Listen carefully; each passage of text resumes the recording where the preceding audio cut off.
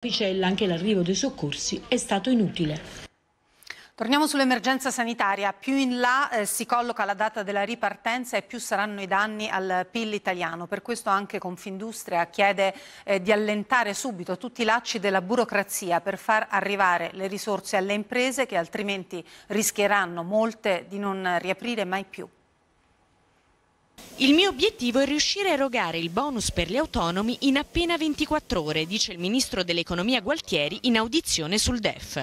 Gualtieri spiega che il decreto di aprile dovrebbe essere in arrivo e che verranno riproposte agevolazioni e semplificazioni fiscali e rinviati alcuni adempimenti come quelli amministrativi in materia di accise. Ma il ministro dell'economia sottolinea anche che la SACE è in grado di dare garanzie sui prestiti in 48 ore e che sta seguendo già 150 operazioni per un totale di 2 miliardi e mezzo di euro. Ed è proprio sul decreto liquidità che arrivano i dubbi della Banca d'Italia.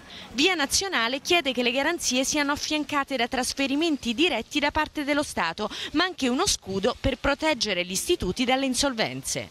E per la Banca d'Italia bisogna valutare anche l'ipotesi di un'autocertificazione quantificazione della perdita di fatturato per erogare più velocemente i prestiti. Ipotesi sostenuta anche dalla Fabi, che sottolinea come ai problemi del decreto si siano aggiunti anche quelli creati da alcuni vertici bancari non pronti nell'organizzazione.